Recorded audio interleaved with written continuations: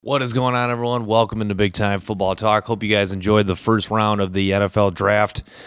Man, that was exciting. Uh, you know, I love the NFL draft. How about the Philadelphia Eagles, man? Recreating the two, the two almost the 2021 uh, defensive line at Georgia.